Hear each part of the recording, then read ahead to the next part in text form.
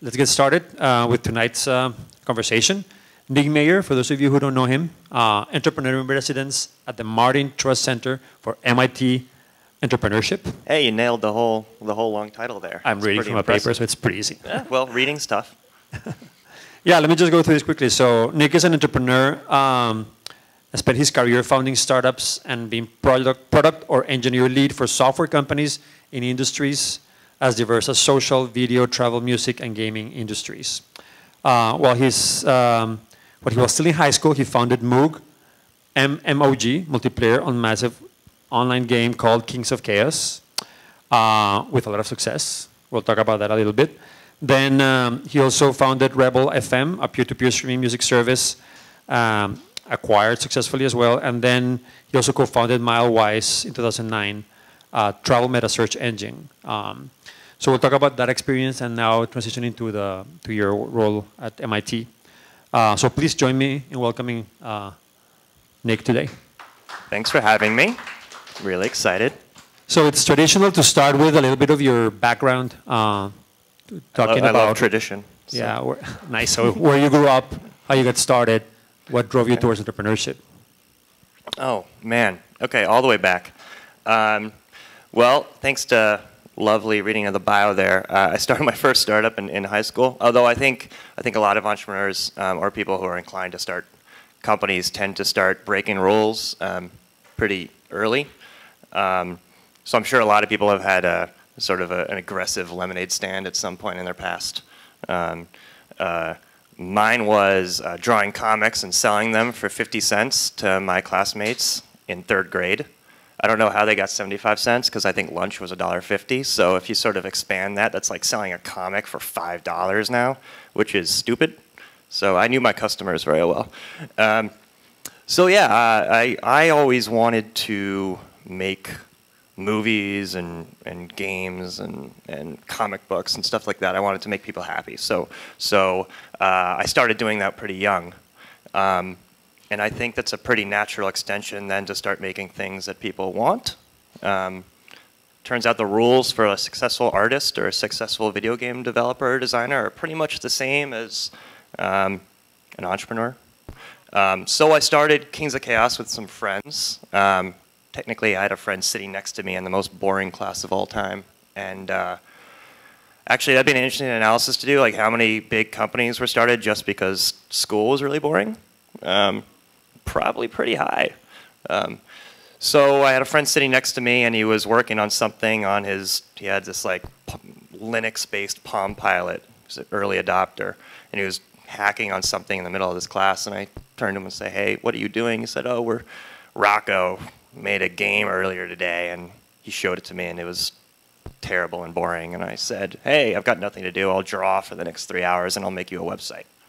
And so later that afternoon, we had a game with a website and more rules. Um, and three weeks later, we had uh, hundreds of thousands of players because it's amazing how bored kids in middle school and high school are. And uh, um, it grew quickly. Um, there's all sorts of stories in there, um, but I'll move on. After that, I was kind of addicted. So I went to college. Um, uh, I dropped out of college shortly thereafter because I think once you get the bug, and you, especially if you make something remotely successful, you kind of want to keep trying to make something better than that.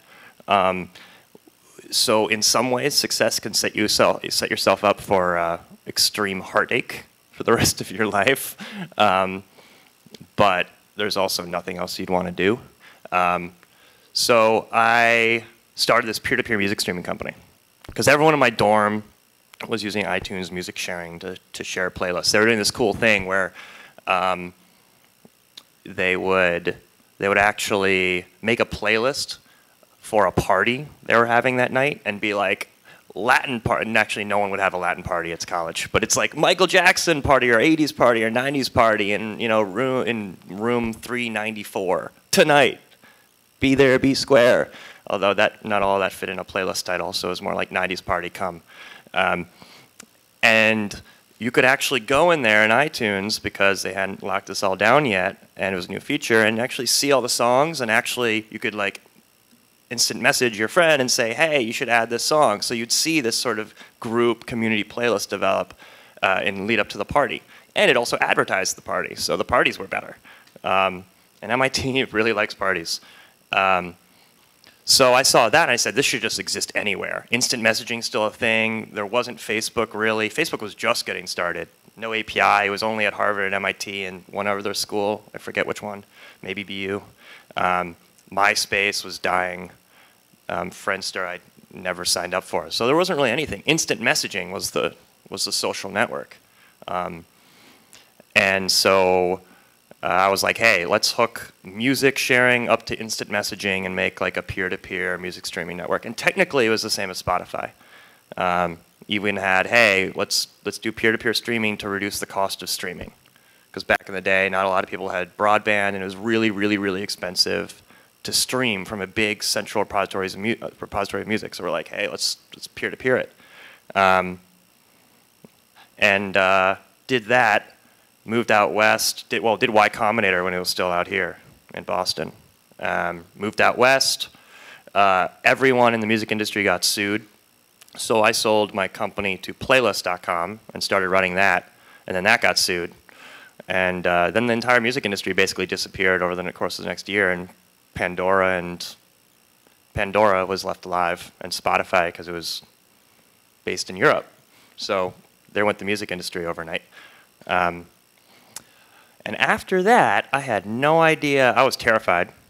Um, so ended up just basically falling into the first startup um, I could find, um, which was this terrible idea. It was a great idea, but terrible for me to actually join it. It was about protecting kids on social networks, Facebook and Twitter. It was called Social Shield.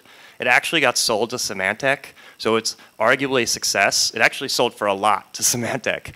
I just uh, hate, I just hated working on it. We were basically selling fear to parents, saying, hey, we can make sure your kids are going to be safe online. And it's a good idea. It was something that should exist. Um, I did care about it. It was just impossible to implement um, effectively. Nowadays, totally.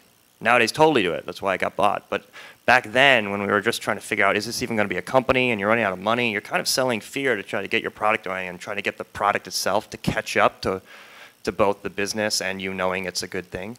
Um, but uh, I was 21. I have no business working on a product for parents. I mean, it was like aggressive.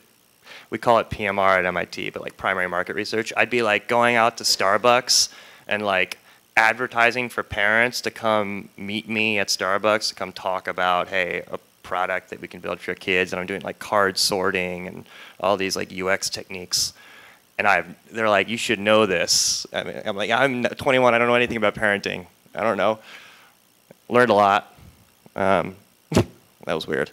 Um, but that was that was an interesting that was an interesting experience. Um, so basically, I, I, hired my replacement, and he did an amazing job getting getting it sold um, and recruiting more teammates and everything. But after that, I said, hey, the most important thing for me is I want to work with people that I love working with, and I work, want to work on something that I think would be fun. And I want to go back to the East Coast, because East Coast for me feels like home, and the West Coast was getting kind of just tired of it. Um, so I call up my friend uh, from MIT, and I say, hey, I'm thinking of moving back. I know you're living in New York right now. New York's awesome. I'm thinking it would be fun to live there. What's going on in New York? He said, Yeah, I'll bring you around to all the, the startup people I know. It'll be great. We'll have a day of it. We'll go to brunch. And I said, What are you working on? I'll just do that. And he says, Well, I'm working on this travel thing because my buddy Sanjay is a consultant, travels all day long, and he's got all these freaking flyer miles but has no idea how to spend them. Um, and I'm like, That, that sounds cool. Like, eventually we can build an exchange for frequent flyer miles and then we can actually write a patent which we did. We can write a patent that says hey we have a patent on a system of exchange between two currencies that are not currencies but other things and there's an exchange rate and you can sell those and convert them. Yeah there, we, we had a patent on that. We had a patent on converting frequent flyer miles to credit card points. That's kind of that's absurd. It probably shouldn't have been granted um, but hey, software patents. Have you licensed it? Have you? Have we? li- Uh, no, no, um, not yet, at least. Um, it was actually part of the acquisition. Um, so this company got bought by Yahoo, um, and it got sued by every major airline the minute we started doing well, which is standard. Like in a a lot of industries, the minute you start doing well, they're like, "Oh, we really want to work with you," and they'll have great conversations, and they do want to work with you because you're the future, and they're not, and they know that. Um, and they'll say, "Hey, one, just a little thing, um, no big deal, but you're gonna get a letter tomorrow from our lawyers. Also, you may get it today. Also, it's right here. Um, and that letter will be a cease and desist that says you need to start uh, stop operating immediately before we will enter into negotiations with you. And if you're starting a travel company and you want to get real-time award inventory from American Airlines and United and Delta and all these places, um, you kind of need to talk to them. Um, and they will just gain leverage by suing you. Same thing the music industry does, but they're kind of nice about it. You know, the the the airlines will sue your company.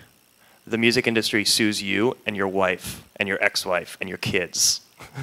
yeah, yeah. Story there from the CEO of Napster.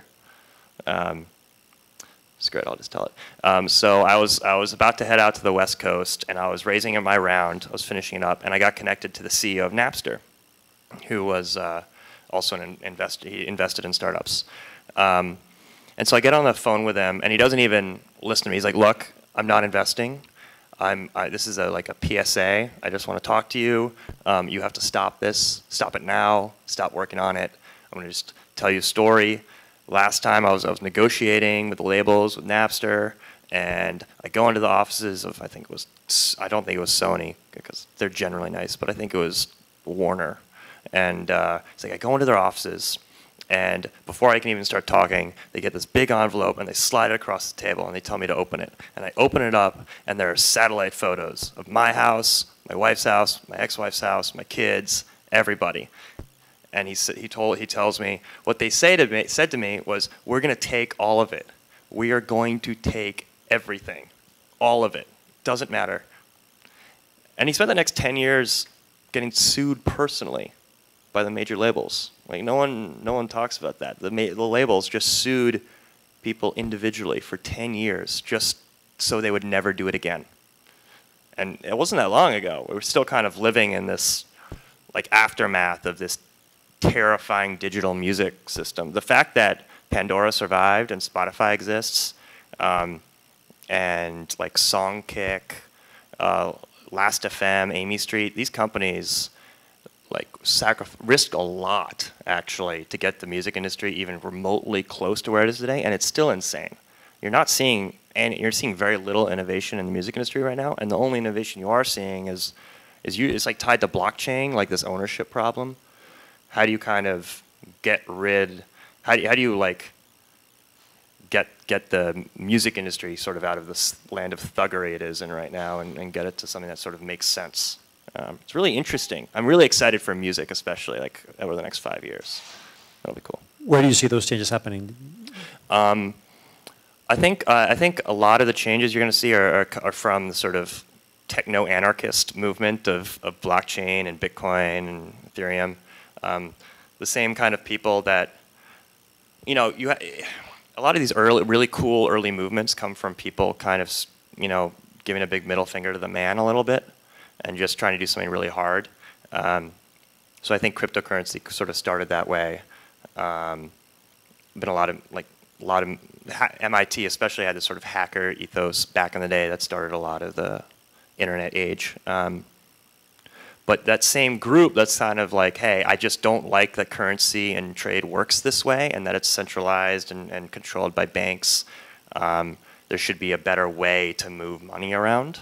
Um, the world would work better. Those same kind of people are the kind of people that would say, I'm going to fix ownership on the internet. Um, that's kind of the same thing. Uh, you talk about who owns who owns a, a dollar bill. Well, it's pretty obvious. I give it to you, you give it to him. It's obvious who owns it.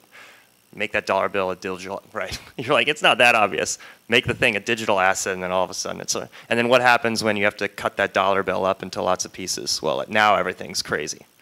Um, and then you can start arguing about whether that dollar bill even existed in the first place, and then when it existed. Oh, when was the dollar bill created? Oh, you don't know? Right.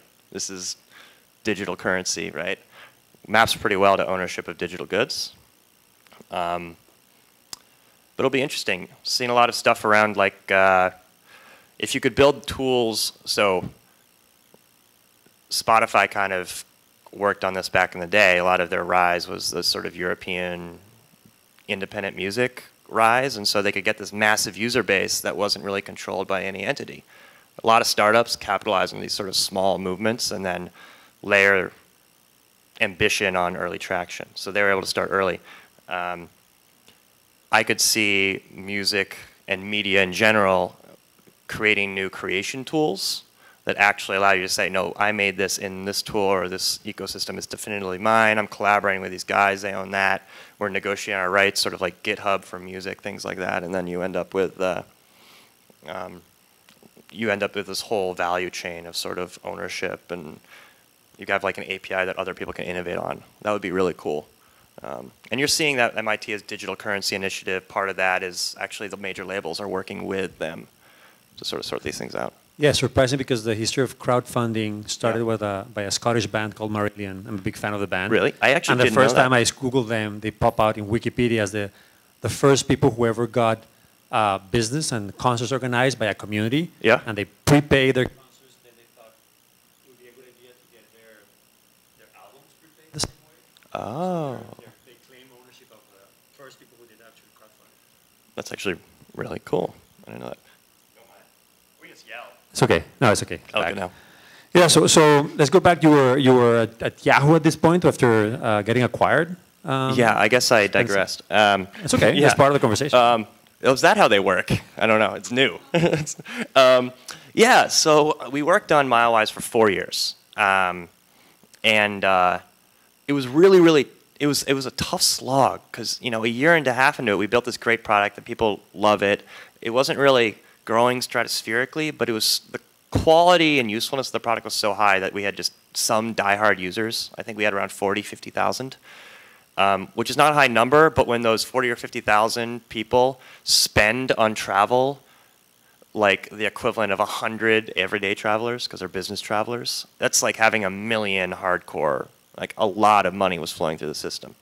Um, and so we had these hardcore users um, but we got sued in the middle of it, right? So we're, uh, we're kind of just working on the product, but not able to really, we don't get to see the fruits of our labor because we kind of have to shut down airlines. It sucks. You do a bunch of work and then it gets taken away. It's like, what's the point of even being here? We're just negotiating and we're engineers. We like to build stuff and ship things. And it's very demotivating for engineers and designers to do all this creative work and have it go nowhere. Um, and so we got to this point where we actually did negotiate get a deal. We got term sheets with the airlines, first ever. Um, these uh, options on actually getting this data that, that was completely locked up before. Um, and the airlines were really excited because the airlines make almost all their real profit revenue uh, from selling frequent flyer miles to credit cards. So if you get a Chase Sapphire and you get you know, two miles for every dollar you spend, that's because they bought a billion dollars worth of frequent flyer miles from the airline. That's not some sort of small deal. It's massive revenue for the airlines. So they were psyched about us because we get people valuing the miles more, which means they can charge more to the credit card companies. So they loved the idea of us.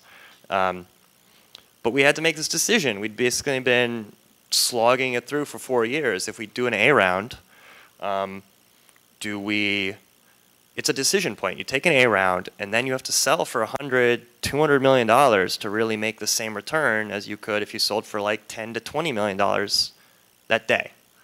Um, and then you're committing to another three or four years of, of growth and pushing it. Did we really, do we really want to spend another four years working on travel? Um, and the team looked at each other and we said no. So, but we've got a great product, a great team. We can make real revenue off this thing. Um, a lot of industries are interested. Let's try and sell this thing.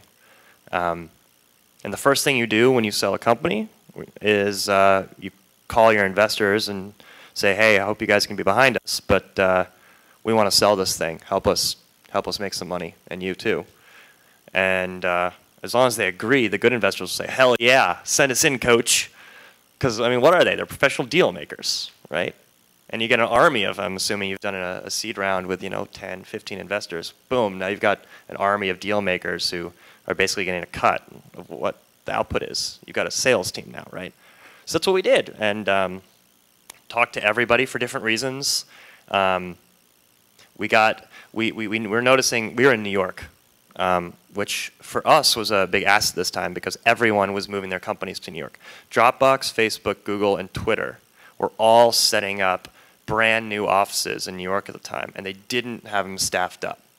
So that's one of the real driving reasons of that acquihire spree out in New York at the time of like 20 companies getting bought in six months. Um, they were staffing up.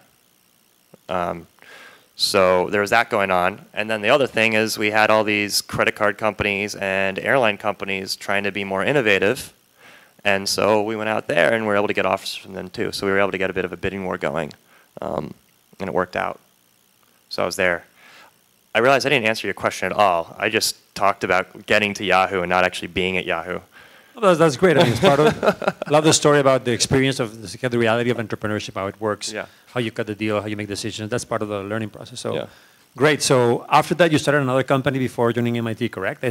I- did, and we should just jump to that because um, Yahoo, Yahoo was, was great, but not for me. The rest of my team stayed, and they, uh, for I think four years, one's still there, but uh, um, I think 365 days is good enough for me.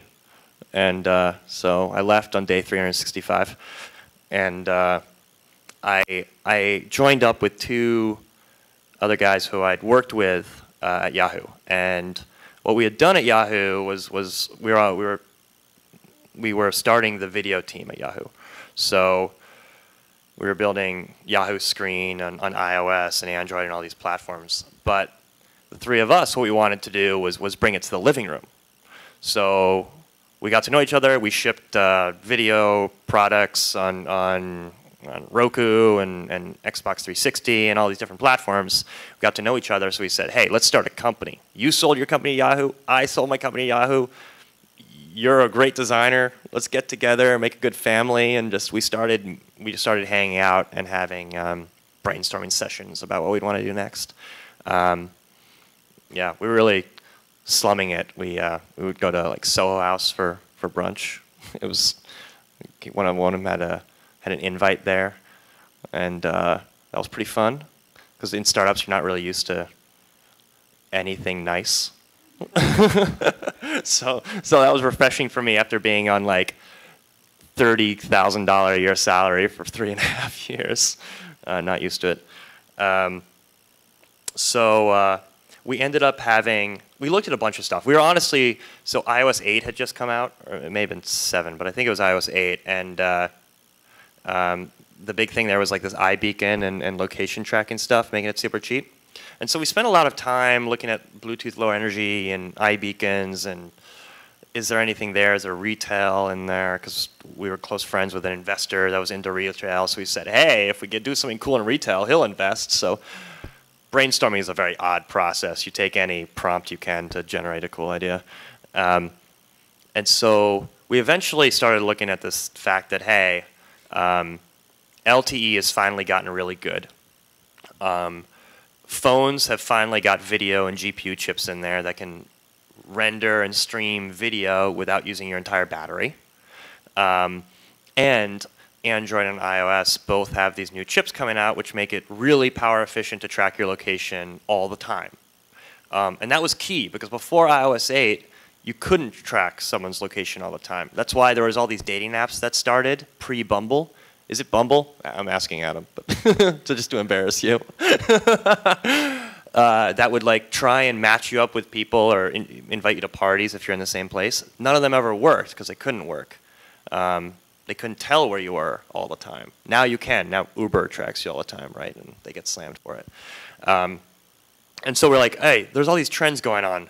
Uh, what should we do? And we, we kind of settled on this pitch of, hey, everyone's running around with, with basically video cameras attached to a high-speed internet network. What if we brought that all online, put it onto a marketplace, and made a marketplace for high definition video anywhere in the world. And that's where we'd start, but eventually really be a platform for data on demand.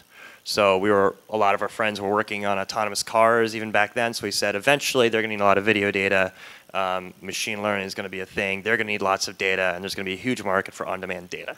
And we're gonna start with live video. Um, and when you pitch, you have to have these sort of long-term trend visions where it's like, hey, we cannot, um, and we said this, it's, can you imagine a world where you're not going to be able to pay $5 and get live video of anywhere in the world in five, ten years? And VCs, because they underestimate time all the time, say, no, can't imagine a world. And so, um, and for good reason, VCs were pretty interested in this pitch, especially when you think about the long-term implications and you match it with all these sort of trends. And so uh, we raised money for this and um, started working on it. We said, you know, there's a lot of there's a lot of technical and social risks here. Um, we're making a lot of assumptions here about one, what do people actually want live video of? Not really sure. Um, we made a bunch of guesses and we were clear they were guesses, but no idea if that's true. Um, two, we also made assumption that people uh, will only go and film things if they're paid. Maybe that's not true. If people use for free, maybe that's, that's a huge business asset. Low percentage chance, maybe a 1% chance that's true, but if it is true, we're sitting on like a really counterintuitive gold mine potentially. So let's test that. Um, so the first thing we did is we built out some live video tech and we made a, a social app called Sup. Um, the company name was originally Looksee. Um, so we made a video app called Sup, which was basically, Snapchat was pretty new at the time and we sort of, that seemed to be doing a pretty good UI. So it had like 50,000 users or something. But so it's like, okay, you'll have a list of friends, you tap on their name, they'll get a notification, it says, Nick wants to know what's up. And if you accept, it opens up a one-way video stream from your, you to your friend.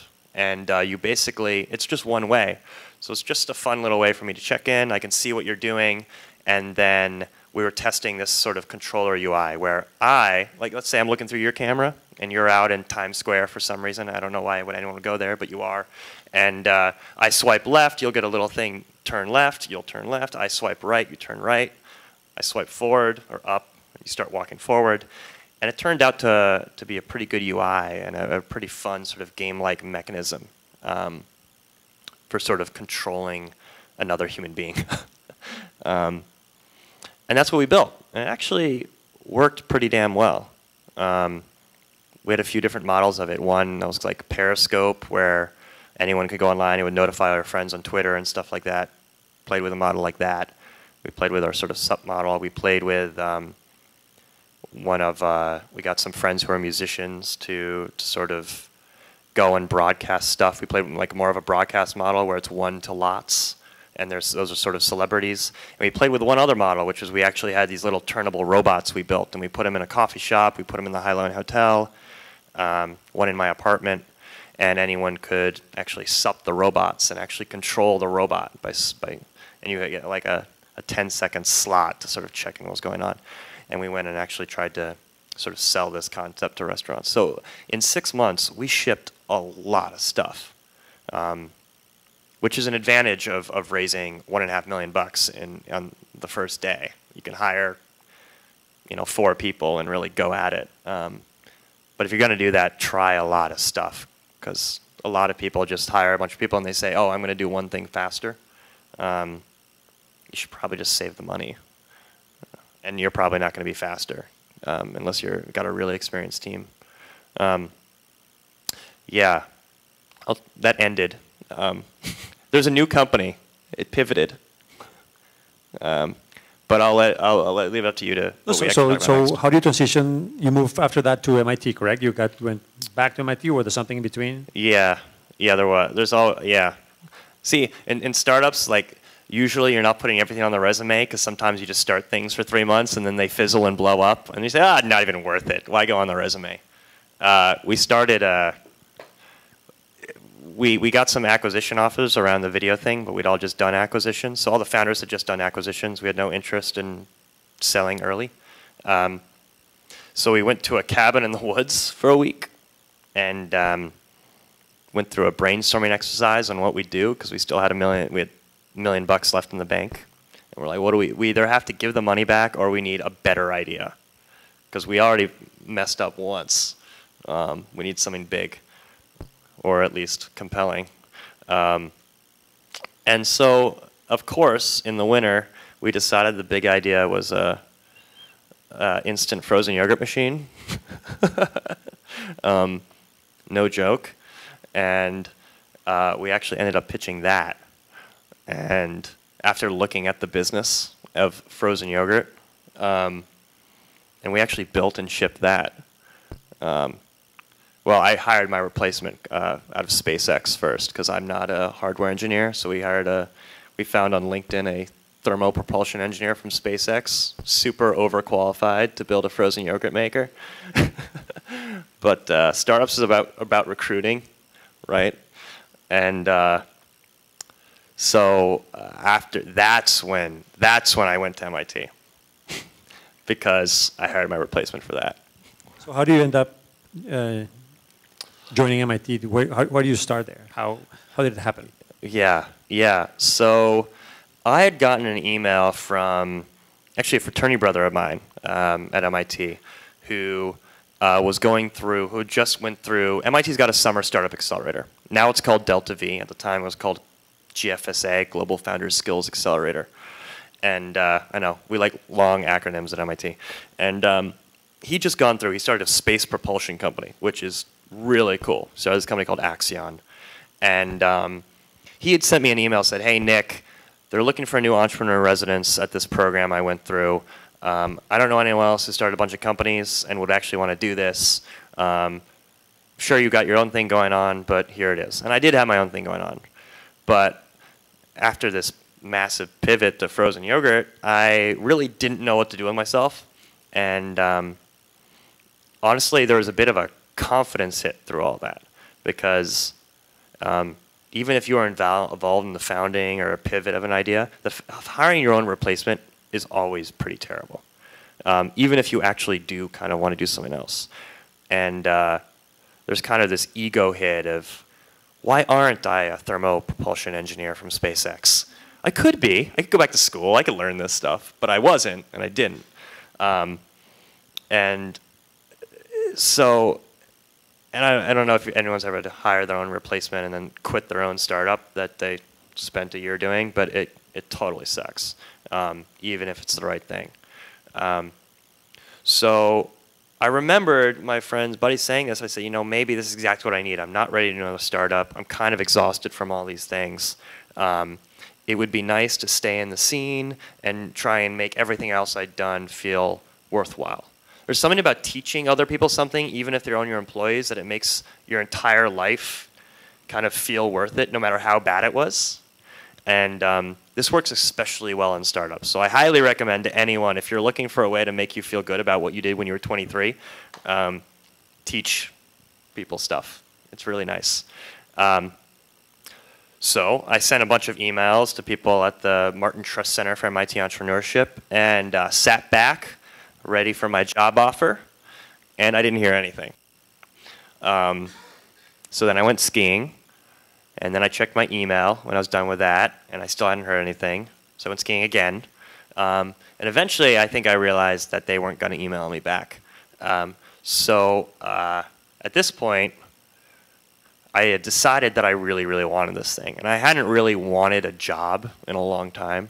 I'd wanted to be successful and start a company or learn something. I never really, really wanted a job. Um, and so I fly from Switzerland to, to Cambridge purely for the purpose of walking into the, the trust center and acquiring a job interview. Um, and this, this is how entrepreneurship entrepreneurs get stuff done. This is just bullhead your way into whatever you want, for better or worse. And uh, so I walk in and I say, hey, I'm Nick Meyer. And they say, oh, yeah, we were totally going to write an email to you. But if anyone goes to the Trust Center, you realize that there's like not a lot of people doing an incredible amount of stuff for all of MIT. And last year, MIT started a thousand different companies. Um, there were like a thousand student projects and hundreds of them turned into startups. So they're pretty darn busy. I didn't really appreciate that until I went and saw what was going on. Um, and uh, so I, he's like, okay, sure, um, we can meet with you. Uh, how's next week? And I say, no, no, no. Uh, I'm flying out tonight. I'm here for eight hours. I have to go back to the airport. Um, are you free at two? I can go get coffee. Um, that's exactly what happened. I went and got coffee and came back for my job interview. And, uh, you know, it was much like this. And, uh, you know, nothing like this. And uh, so they see, so, so I, I do my thing. I get back on the plane. I land in Switzerland and I get an email saying, hey, someone else wants to talk to you. Can you, can you come in tomorrow? I just told you I was going back to Switzerland, but sure, I guess I'm coming back. So I get immediately turn around, go back to the airport, fly back. This is all in frequent flyer miles, by the way. I have no way I would have been able to do it using my own product. Um, by the way, if you do want to use your miles, we did. We actually had an MIT PhD write a thesis on the best time to use their frequent flyer miles. It's the Wednesday within a week of booking the flight on American Airlines, actually. Actually, it's with American Airlines, but on like British Airways or something like that. Um, so in general, prices go down the closer you get to the destination to the, the time when you have miles. It's they go up with cash. So just FYI. Um, something something about this has to be helpful. So we got to help them out, right? right. Yeah. Um, so that's how I that's that's how I got. There. Eventually, you know, I talked to them enough and, and got the job. But you know, uh, in some ways, I think they were just looking for free labor during the interview too, because they kept just emailing me student questions. Be like, hey, Nick, we have this situation. Um, it's made up, seriously, but uh, what would you do in this situation? And it was actual student startups eventually. I just realized, eventually I realized I was just writing emails to students as a job interview, which is a good way to interview, right? Um, so it was fun. Nice. So talk a little bit about the your work now and the, the programs that uh, the center has. Yeah. How does it work? Yep. Um, so the key about MIT is realizing that it's this kind of chaotic bottom-up organization, and so you're all everyone's always sort of competing for the love of the students, um, which is a pretty good kind of startup-y entrepreneurship kind of atmosphere. Um, so right now we do a, few things, but it's always changing. Uh, we run Delta V, which just wrapped up. It's our three-month summer accelerator. It's awesome. Um, it's like, it's kind of Y Combinator, but it's educational. Um, so it makes it really safe. It, we're totally happy if you, you know, uh, work your work your ass off and then your startup fails at the end of the month because you realize, you know, one, I don't really like startups that much. Hopefully you should have that figured out by then. I don't like startups that much, or it's a bad idea or a big enough market, or hey, I discovered something bigger. You know, we're totally okay with that. But investors, not so okay with that.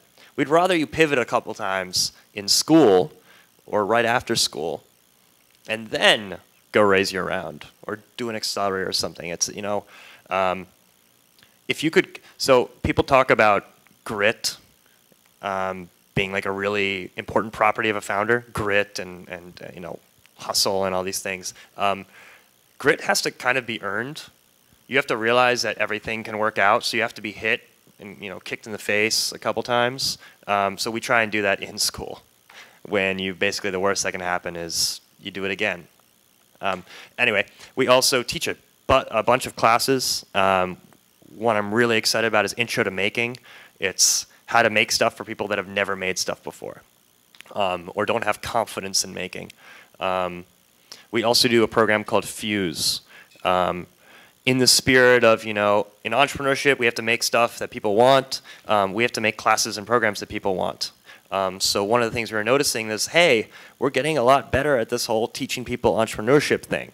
By the time they get to, you know, halfway through their, their first year, um, they've taken classes, they've maybe gotten a little bit, you know, like a thousand bucks from, from Sandbox uh, to try a project out.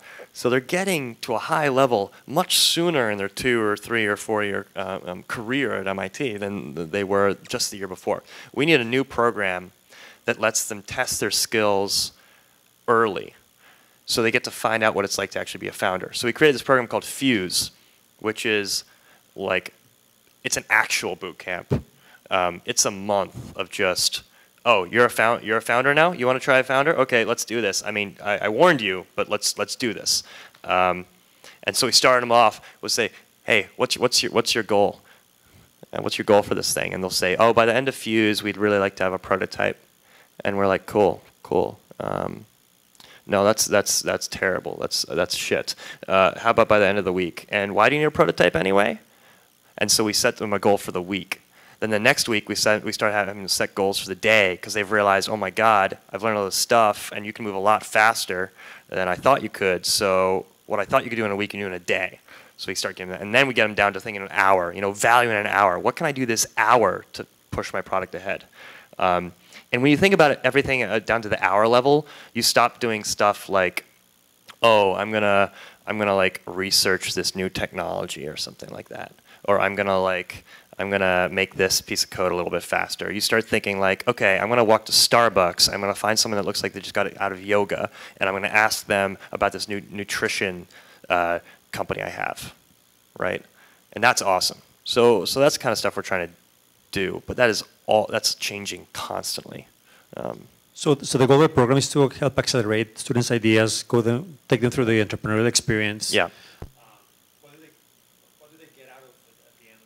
Program? Do they get funding? Do they get uh, just, uh, yeah. credit? So yeah, it depends. Um, there are we do like to set funding. Funding is tough in academia, right? Um, the reality is there are a lot of things, especially at MIT. If we're saying, hey, we want you to create companies that change the world and work in energy and stuff like that, usually you do need some money to get started. Um, we have a couple programs. We have Sandbox, which is new. I think it was seed funded with about $2 million from a lot of local VCs actually, but it's equity free. You apply with basically anything and you'll get a thousand bucks just to get started and do something. And that's, that's the whole point of it, is to get more computer scientists and business students and everyone to just do anything. Just do anything. And money turns out as a shiny thing that works really well. Um, once they start doing stuff, they'll get addicted and they'll start being, well, the first time the thing fails, they'll go seek out an, an expert. And so that's like a nice cognitive behavioral therapy thing to hack to get them to come talk to us. Um, so that's sort of the start. Then we've got classes that's saying, oh, okay, you're trying to make this thing and actually work, and you want to make money and have a startup. Okay, let's teach you about let's teach you about stuff like acquiring customers and how how um, how you acquire them and how much it costs to, to keep them and sales and product design and market segmentation. We'll teach you tools that you can use to actually get stuff done. Um, so in Sandbox, there's money. There's no money or anything in the classes. Fuse especially has no money attached to it. Because what I'm trying to do there is realize, hey, no, no founders start with money. If you, you want some money, go find some money. I'm not giving you any and no one else is going to give you any because your idea is terrible right now, uh, and you haven't proven anything. And that really gets them to start thinking, what can I do with less? And that's a, that's a really big deal that I hope isn't lost through all these programs that just kind of give you money. Like all like um, I'm wary of business plan competitions, for example. Um, where you just you can basically come in with an idea, pitch it really really well, and it sounds good, and you're getting 10, 15, 20 thousand dollars more a lot of the time, but maybe it's not a real thing yet. Um, I'd much rather we had competitions that were more like, hey, we're to do a pre-competition in January, and we're to hear about your idea, and then we're to see who gets furthest by March. I don't know. Any anything would be cool, um, just to show some commitment. Um, Delta V, we give you $20,000 equity free. Private donors donate that, so there's no signaling risk. One of the big things we do in the center with our programs, no VC involvement. Any, at any level of the funding chain. We want no, er, no signaling risk. We, want, we don't want this idea that, hey, VC comes in or an angel investor comes in and they don't invest in you later. That could be a negative. So we don't want any of that. Um, we don't want anyone in our, eh, at least working at the center, to. Uh, we're we're really serious about your, um, like this this no no conflict of interest policy. We call it an honest broker policy. Um, you know, no one's no one's uh, like a venture partner. No one's a, a, VC. No one's angel investing in the startups that it's see. Although a lot of faculty do it at MIT, in our center, none of us none of us do. Um, it's a big deal just to be able to say, honestly, I do not care what happens to your startup. I just care about what happens to you. Um, it makes it hard to recruit for our center. Really, really hard. Um, it also makes, uh, I think, I think a lot of academic institutions that want to help with entrepreneurship are going to run into the same thing, where it's it's it's hard to recruit and it's hard to. The downside of making a poor decision is high too, because um, you on you honestly could have sort of one one person come in and and kind of just act based on what they want, um, and that can really hurt a lot of students. And they pay a lot to go to school, a lot. So we don't want to do that. Um, I wanted to ask you about, uh, you said that a lot of the student projects become startups later on. Yeah. Um, so talk a little bit about that, but also wanted to know if there's any any issues with IP or does the school, is the school involved uh, in helping to develop the technology? IP, IP is huge. That's a good thing to talk about. Um, so schools, if they want to, I mean, the key to an entrepreneur, at least one of the keys to, to a well-functioning academic entrepreneurship ecosystem is that you can easily move your stuff out of school, right? Um, and that investors can trust that it's going to be easy to move your technology out of school. That's a big one too. Um, uh, and so MIT has a trademark licensing office. Um, anyone who creates, they'll file patents for you. Um, they'll help you with your patent strategy or licensing strategy. Um, and they will give you an exclusive, they will sell you an exclusive license to your own technology um, at pretty standard, very reasonable rates that is, doesn't usually get in anyone's, anyone's way. They've been doing it for a long time. Um, that is helpful. Um, the, so that's, that's one side of it. So schools need fair rules around that and ideally a track sort of a standard track record where it's not a surprise, it's not a negotiation every time, it just needs to be like a factory. Get it out the door, get it done. And time is really important. Um, uh, the other thing that needs to happen is, um, and this is a big struggle, is uh, faculty need to understand startups. And, um, you know, whether they're good or not good or not good has nothing to do with it. You know, if you do if you don't understand that hey, 99% of the work of a startup happens after sort of the technology, technological in, invention itself. Um, one, the technology is probably going to change because um, you realize it's, oh, it turns out it's not super commercializable or, hey, we can't even manufacture the thing. Um, uh, that's a big one. Um, so faculty need to not do stuff like ask for 70% of the company, right? It's more like five, three, four. I don't know what it is, but it's it's not 75%. It's not 50%. It's not 35% unless they're doing stuff day to day. It's it's a low number of equity, amount of equity, um, and I think that's mostly an education thing. Um, uh, not a lot of not even if they have started companies before. Um, the equity equation was different back in the day too, and a, a lot of amazing faculty who have changed the world with their companies. Honestly, started the companies before there was really even a VC ecosystem. Um, there'd be like three VCs, um, and it was a new thing. So uh, I think just ed education is, is tough, and that's something we notice. And, and every school is different.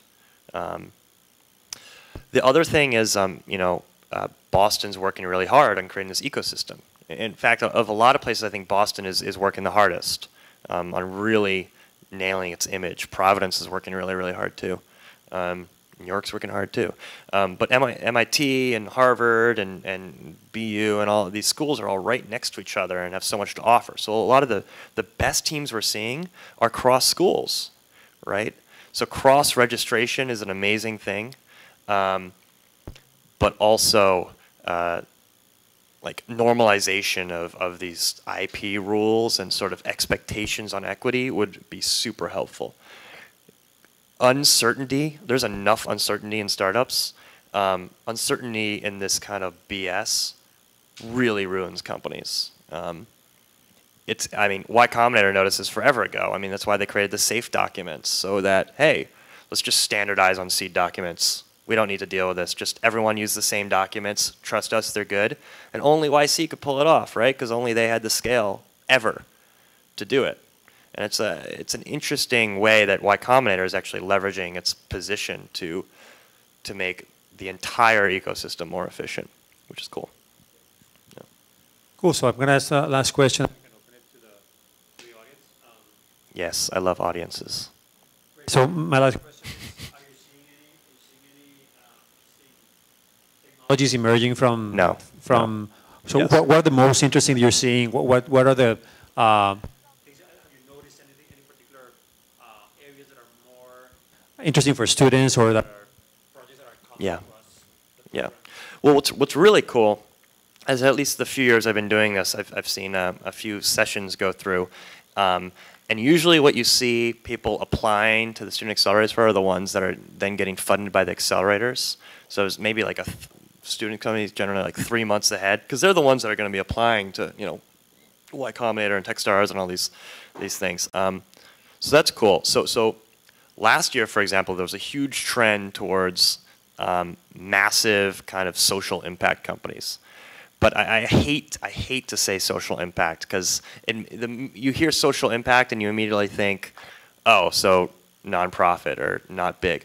But like, if you're going and like fixing the agricultural co- commercial market in Pakistan, which is like a four trillion dollar market, you, it's not a small market, but it also has huge social impact. Um, it's just hard to tell story, and so we're noticing a lot of like a lot of founders coming to MIT specifically to solve big, gigantic problems, usually in infrastructure and logistics, and then going back and trying to tackle these hard problems. So we had like five shipping companies. We had a a, a, a port management company actually, which is running machine learning on trying to get through, uh, like actually um, plan when ships would arrive in ports, so ports could optimize that, and you could actually like sell your your slot in advance. So we're, I know we're talking about that.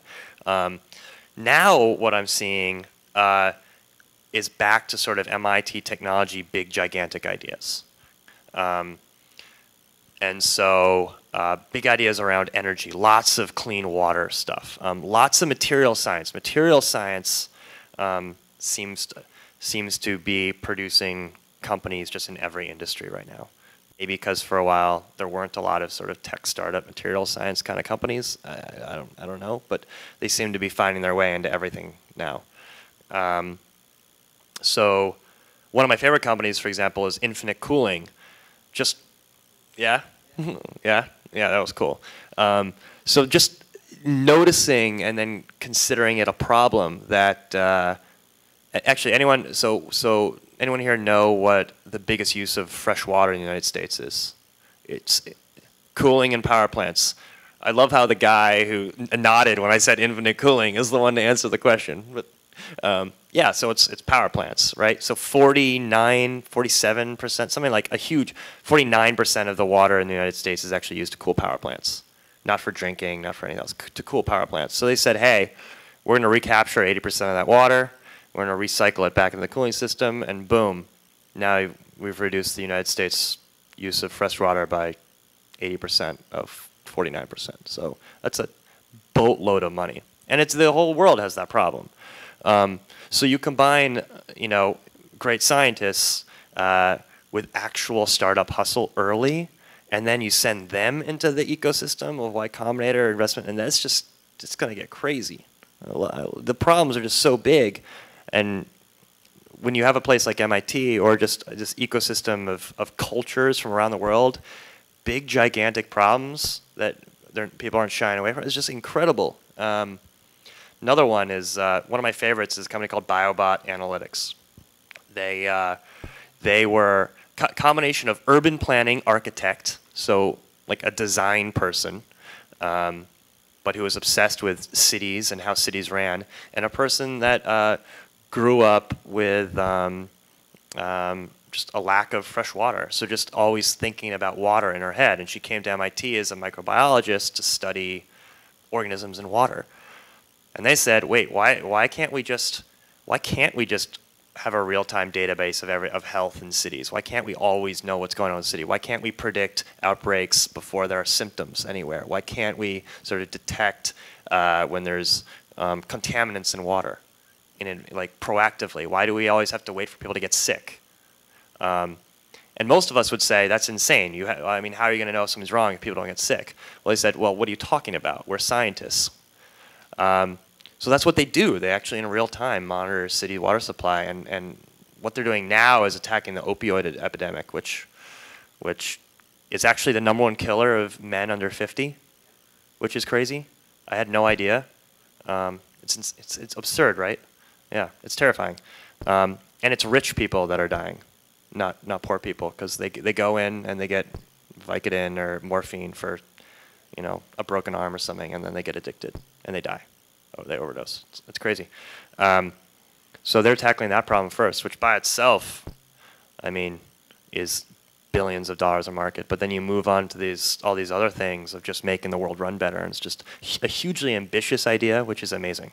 Um, and that, that's what I like about being in the academic world. Maybe seeing stuff that's underappreciated in the lab, and just encouraging everyone to hey, try it just start just start looking at the thing. I know it's scary and you got a PhD to finish and all that, but just maybe just maybe just think about it. You know, just think about starting sooner, or hell, maybe it's uh, there's huge impact just getting more um, researchers to maybe to think a little entrepreneurially earlier in their career.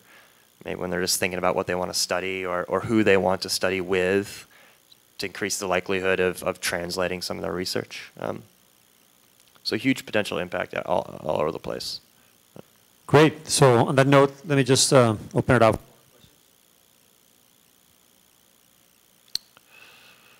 No pressure. First victim. Thank you. Awesome. Thank you so much, Nick. Really appreciate that. Uh, can you talk a little bit more about uh, the lessons learned from the failures of, of the different startups? Yeah. Um, do I have to? Okay. Yeah, um, lot, lots of lessons learned. Um, basically, uh, one thing I have noticed, and, and uh, this is true for me, and, I, and I've seen it patterned a few other places, is that surprisingly, the first time, as much as we like to say we need to educate everyone on how to do startups, the first time you may accidentally do almost everything right. Um, because at least if you start early and, and you, you sort of fall into the trap of making stuff, usually you're trying to make something for someone to make them happy, and your motivation at first, hopefully, is honestly, I made this thing, I'm gonna make, it, make them smile, or have them ask me to change it in some way. That's how a lot of people get started. Um, that's your fit, uh, at that point you're you're a lot of the way there, just thinking about how to make something people actually want. Um, it's when you start thinking too much about the business that everything starts to get screwy. And it's a really important thing to think about the business deeply. Um, but almost all the advice you hear is just kind of just do it. Number one rule is make something, give it to users, take their feedback, and keep going as fast as you can over and over again. It's kind of the uh, like, hey, out outwork. Um, the reality, the actual thing is it's much more subtle than that. It's just that advice seems to cover most of the cases. Um, that's what happened with my game. Um, and it was later when I started thinking more about the business really early and forgot to really focus on making stuff for people um, that I kind of got overconfident, especially my own abilities, and started trying to make bigger products earlier without shipping. Um, the other thing is, even for MileWise, while it was a success in the end, it was really a success because I'd learned to operate in the business world, right? And we all had. We were startup veterans at that point. Um, and we, we survived for three and a half years on not that much money for the amount of employees we had. We were extremely thrifty. Um, and being extremely thrifty lets you weather a lot of storms. Um, if you just don't die long enough, you'll probably be successful but sometimes you have to not die for nine years. Um, my, at the time, I was doing Y, y Combinator, and I was close friends with the guys from Justin TV. I mean, those guys had some success, but it wasn't a massive success. They had a lot of revenue, but it wasn't this billion dollar company they wanted. They were doing maybe a couple million in revenue, 20 employees, but it wasn't really what they wanted. It wasn't. In, it wasn't until like nine years later that they stumbled on Twitch TV. They they they deleted 95% of the code they made and just focused on video games, and boom, it was uh, six months later, product market fit, killed it, billion dollar company, right? Um, and so that happens a lot. With Milewise, our struggle was, is our customer the business traveler? Is our customer the mom planning vacation for the family um, and like watching? You know, this is our, this is our persona. Um, you know, it's it's one of our personas was the mom wanting to plan the family vacation, basically managing the family's uh, finances throughout the year, and basically wanted to make sure she was saving correctly. Whereas the business traveler wanted to spend all the time. Or is it companies like uh, I believe it was BMW at the time who was taking ownership of their employees' freaking flyer miles. And they were like, hey, we can use these for business traveler. We just argued, we argued a lot, and then we never really completely made a decision. And so it cost us forever to be able to make a product that actually satisfied all those users. We did, you can, it's a route, um, but it is not, it is not beginner entrepreneurship and uh, it was it was terribly it was a terrible struggle. I wish we hadn't done that. So that's one. Um, the other big one is don't do stuff out of fear. I joined Social Shield out of fear because I wasn't sure I could. I wasn't sure to interview for a real job and wasn't sure I could find one. So instead of going out and actually maybe doing some consulting and looking around or finding my own idea that I was extremely passionate about, finding the right co-founders, or hell, even looking for what jobs may be out there that I may love, I kind of rushed into the first thing with uh, famous founders and, and famous investors that I was given the opportunity to co-found. And um, great company, but not for me. Great company for someone else. Um, so I, I, think especially when you're young, but I think at all ages, I, I still do stuff out of fear sometimes, and it's just does not turn out well. yeah, and then you feel bad about it later.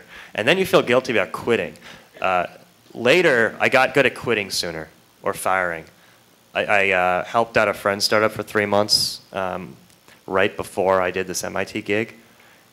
And that's, that's when I really knew I wasn't ready for a startup again. I flew up to California, helped for three months. They were doing Y Combinator and needed some extra hands. And I said, hell, I'll help you with product. One of my closest friends. Three months into it, uh, they mentioned something, Nick, you're clearly not into this. Like, and I didn't want to quit, but I knew also that I just I just couldn't do it. Um, but it was just three months, and it was helpful, and I didn't you know drag everyone down. Um, that's key. Uh, if you're not feeling it, just get out soon. No one's gonna be super pissed at you. Um, co-founder, well, maybe they are, but you know, don't don't lose friendships over startups. Unless they're a really bad founder, then screw them. You know. That was long, sorry. Yes. So, um, software versus hardware. Um, oh, God. What's the trend do you see at MIT? Um, yeah. A uh, lot more hardware this year. Um, obviously, there's a lot of hardware combined with machine learning. Um, uh, I mean, MIT has a lot of biotech. I, it's, it's, it's, it's tough because I'm, I'm realizing year to year, you know, what people are excited about changes so quickly that it's less a trend. In fact, I, I'm starting to think that, especially with technology, not thinking about trends may be a good thing. More thinking about what's act actively going on and how be human behavior is changing all the time. Um, but in general, we're seeing a lot more. We're seeing a lot more hardware. Um, but if it is hardware, it's big hardware. I'm not seeing like wearables. You know, I'm seeing power plant tech. I'm seeing you know micro thrusters for rockets, so it doesn't take as much fuel. Um, uh, like photonic chips, where they're using like quantum effects for machine learning instead of traditional chips. Um, what you'll see a lot of is like machine learning and hardware. We're taking data from wearables or IoT, or and then doing layering software on top of that to make something new, because that ships faster. Um, yeah, it's tough tough answer, but uh, I, we do we did just start an MIT Hong Kong node because we want to be have a presence in in Shenzhen and, and Hong Kong and and um, so we do do like I was just in in Hong Kong for a, a, two, a three week um, uh, like maker slash entrepreneurship bootcamp. Um, and we combine Chinese students with MIT students, and they actually have to make something. Um, they have to make a physical product, and it has to, you know, sell. There's a lot of innovation around there, but uh, um, and we're doing a lot of stuff with. There's you're going to see some cool stuff coming around with like with making and you know how does online learning look for making, is a question we're posing right now, and that's something I'm really interested in. What what is what's Khan Academy for for making physical objects? That's it's an interesting question to wrestle with. That's what we're starting to do. I'm wondering if um, you see anything interesting going on in the financial market space right now. yeah. Oh, totally. Um, well, um, there, there. Yeah. So I see remittance stuff. Um, so remittance is um, people come to the United States or, or any sort of relatively wealthy nation, get a job, and send money back home. Um, traditionally, that's ex extremely expensive. Um, so we see a lot of stuff in that space. Um, no one necessarily has done it well yet, so I don't know. I, am not going to say it's a good idea necessarily, but a lot of that's the kind of stuff you're seeing. Um, uh, also, a lot of places on Earth don't have markets, basic markets um, for stuff like agriculture. Um, you know, um, I see over and over again India, Pakistan, Thailand, China. Um, you have this problem of, hey, I'm a farmer. Um, I have cell phone service, so I can kind of get market prices, but I can't sell the stuff on the market anyway. Um, and so a lot of student teams and entrepreneurs will actually go and try and make like a financial market. Be like, oh, huge opportunity, developing world, financial market. No one's done the thing. I'm going to make a financial market. In reality, the reason there's not a market is because you can't refrigerate the stuff. So like, what's the point in having a futures market if you can't store the thing for three days and sell it when the price is higher? So st stuff like that is really interesting. A lot of really cool ideas are coming from looking at the finance world, markets around the world, trying to do finance, and then realizing the problem's not finance at all, and then they do something else. Um, so four, three or four different startups just in the past few months started that way, and they're doing really cool stuff, um, which is great. Um, alternative forms of, of, of risk and credit analysis. So I consider the U.S. almost in like an aggressively third world nation when it comes to credit. We're, like we have a robust credit system, but it's so flawed in terms of security that it's almost worse than not having a credit rating system, um, at least for personal. Um, so you're seeing a lot really cool stuff in developing world, but hey, we don't have, if you don't have, um, you know, banking records or traditional in banking infrastructure, how do you make credit ratings? And so you start looking stuff like cell phone logs. And again, it's machine learning, but sometimes it's hardware. It's building hardware and integrating stuff sometimes. Sometimes it's telecom. You're seeing all these, all these technologies start to merge into really complex, really um, logistically complex solutions, but in the product itself is super simple and kind of hidden. So you can leapfrog what we have here, which is really cool. So then once you have credit, what can you do? Then you're going crazy on the financial system. And um, you can do stuff like, uh, once you have something like that, once you have a rating system, then international finance can come in. And instead of aid organizations and massive foreign aid from like the United States, then like HSBC can come in and say, oh, there's ratings on these banks, analyzed it, okay, I've got a rating system, I can invest there. Um, and that just starts to make the whole system work better. Um, so you're seeing a lot of these. You know, you start one place and then you realize you need core infrastructure. But the you know the core infrastructure of law, communications, power, agriculture, those four things can really produce.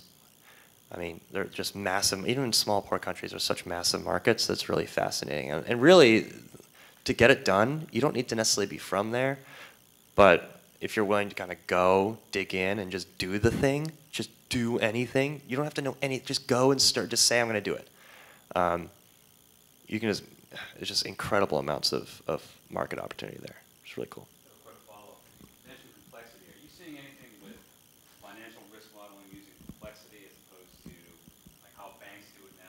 basically like Gaussian models? Um, can you use small words? I'm at MIT, but not that, not that MIT. All right, so basically a financial market. What, what kind of complexity, for example? The answer is probably yes, but I want to make sure I'm answering So the right basically, a financial market is a complex system. Yeah. But most people see it as linear, and so all the risk Ah, modeling yeah. systems are linear rather than complex. uh, I was actually just having this conversation with an MIT friend the other day. Um, so yeah, um, yes, but it's not new. Um, so a lot of the, I mean, a lot of the really big finance and solid trading and hedge funds have been using non-linear, um, like risk models for a long time, um, because hey, if you, simple explanation is, hey, if you're modeling, if if if you're a fresh graduate from a computer science department and you learned you've learned all about prediction models, you're going to go in and say, I know all about these things. I'm going to make a model with a Gaussian distribution that looks like this. But the world never quite looks like that. It's just close, right? So the, the places with the really good mathematicians and the places that do 100% returns month over month over will say, hey, we'll just actually map, actually map the risk curve. So there's this little difference between the model and reality over here.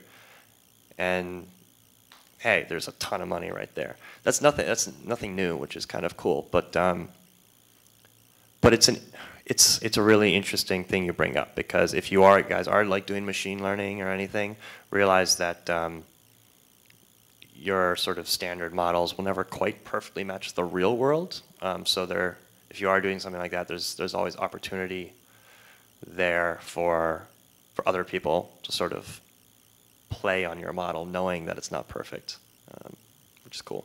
So yes, there's lots of that kind of stuff. Yeah. For the startups that you're involved with, uh, do you ever see them using crowdfunding? And do you have any thoughts about crowdfunding?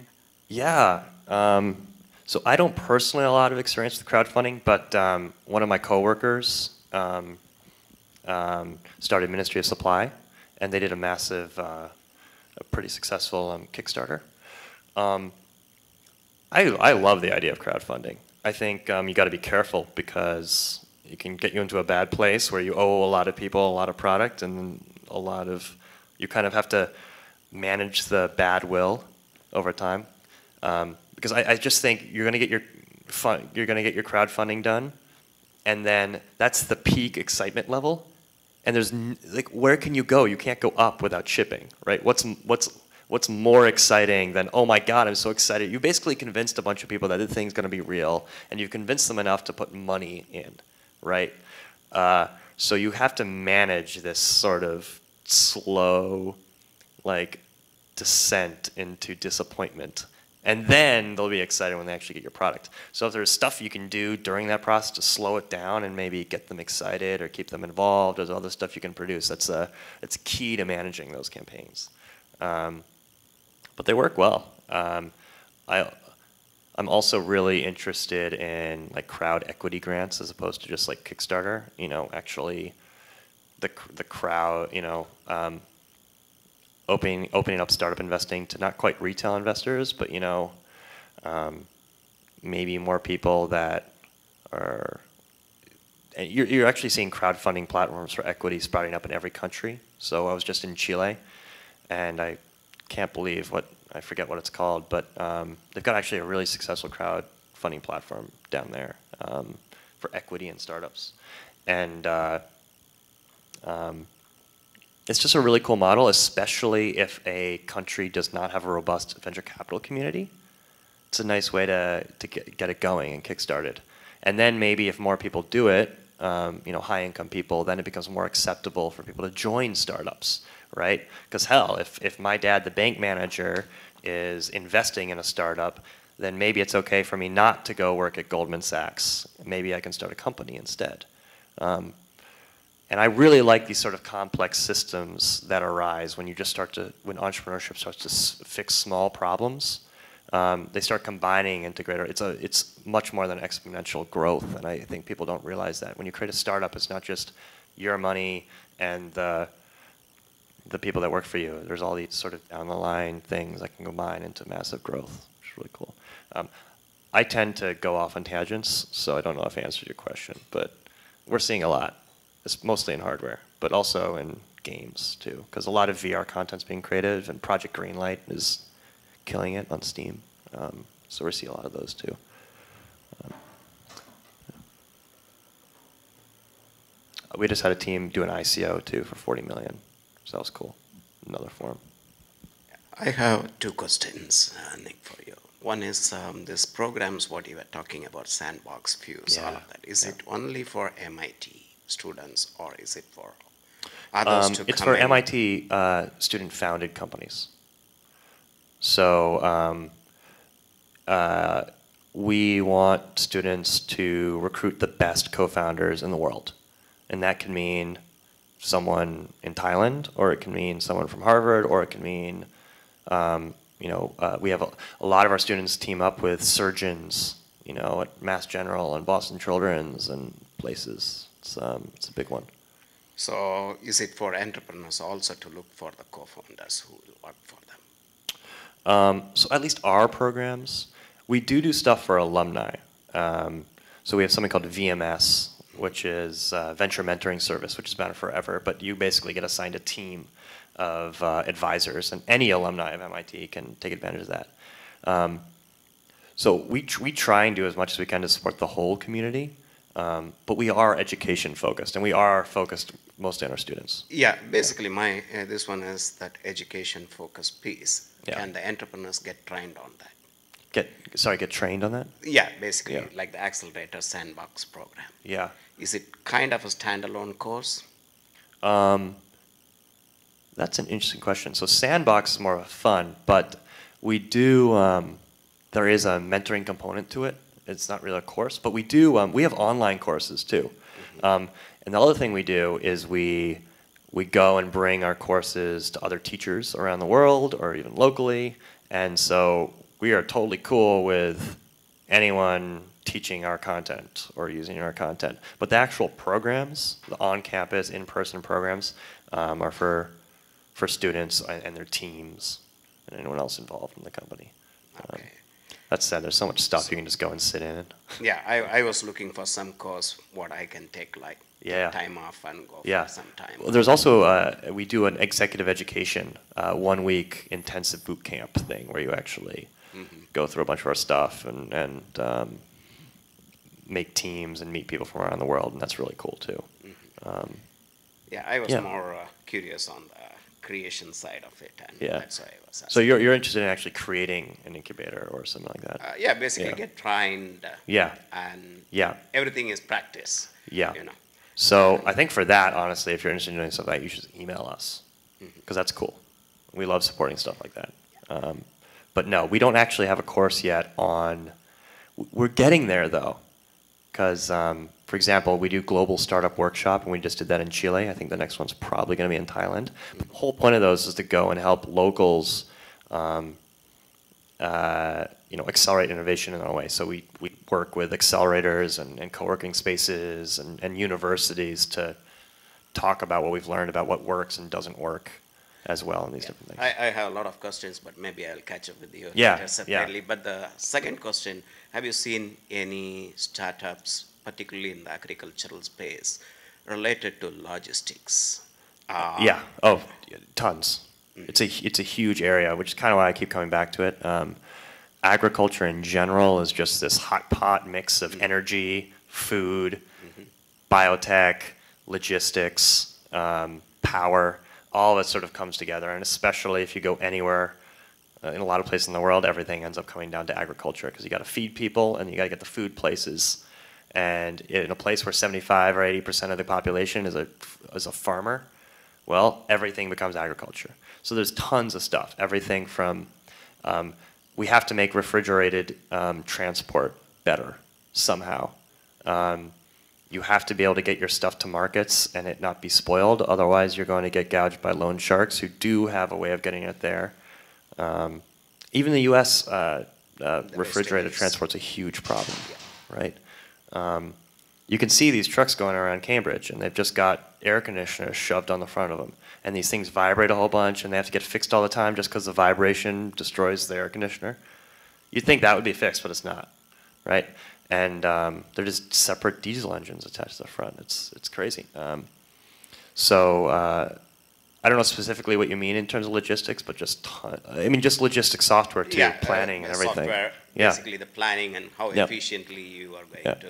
We have a company called market. yeah. Um, we had a, a Rwandan company called Kumwe that actually, uh, I'll shut up in a sec. We had a R- Rwandan company called Kumwe. It was basically, hey, because there's nothing here, let's just build a awesome thing from scratch. And they just gave all the drivers iPhones and mobile software and GPS powered. And you should see these markets. The markets went from this system where people who own trucks would hire drivers to drive the trucks. But then they gave the responsibility to negotiate the rates to the drivers. So the same people sort of in charge of security of the truck are like taking under the table payouts because they're negotiating the rates themselves. So nothing was efficient and there was no incentive anywhere to get anything anywhere. So just in one in one fell swoop, they get their own truck, get their own drivers, make their own app, and go from zero to like three million pounds of shipments in a few months. And it's all highly efficient and organized, and it's pretty cool. Same thing, other ones in, um, we had Mexico City one too, which is more about security. Um, but the cool thing about logistics is it's it's different everywhere, and logistics means something everywhere you go, which is super cool. So you can't just do Uber for blah everywhere, right? You have to do Uber for blah in that place, um, which is one of the reasons Uber worked so well with the GM local GM model. Um, so it's actually pretty clever that they do that. Anyway, I think I'm being told to shut up using with Carlos's eyes. Not at all. We're just looking if there's any some, some other questions.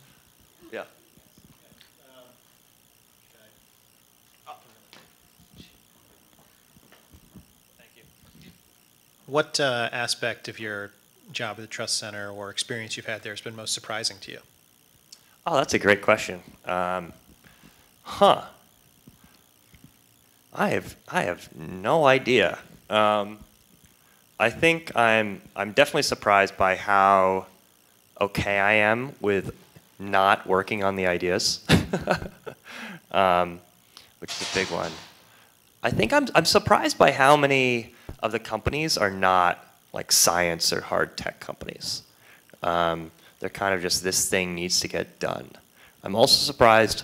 Ooh, I'm surprised by how um, there's a certain cohort of people that I've discovered are naturally really good entrepreneurs, and those are doctors. Yeah. Um, they notice lots and lots of problems. Um, they uh, are trained to immediately try out solutions, and they're like hyper customer focused. And they're trained in, I mean, if anyone's watched House, you realize that the whole time you're trying to figure out what people actually, what, what's actually going on with people. So you're like, doctors are heavily, heavily, that's what rotations basically are, and taking histories. You're heavily trained in market research without knowing it. So you take those people and, and go through a three month class, and all of a sudden they're incredible, um, which is really cool. And that's true of anyone that really goes through med school, um, like um, dental startups. There's a lot of dental startups, believe it or not. Um, so that's really cool. Um, and then I think the other thing I'm surprised by, and I, I, kind of keep going to this international culture stuff just because it's been one of the most rewarding things for me is, is being exposed to how um, entrepreneurs can come from every culture. There's just different things in, in everyone's way.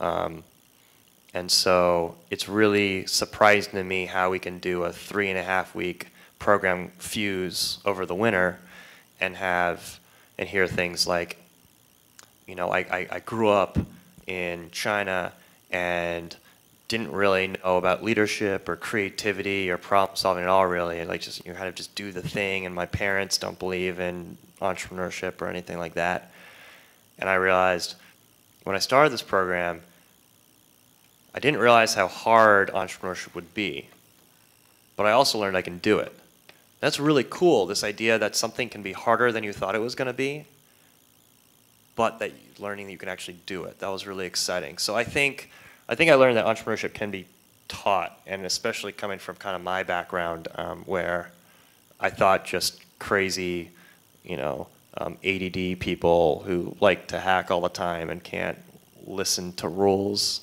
are entrepreneurs. I think I just don't think that's true anymore. I think it's more like if you really, really want to and you really, really care, hell yeah, you can be an entrepreneur. Yeah. Hey, thanks so much for having me.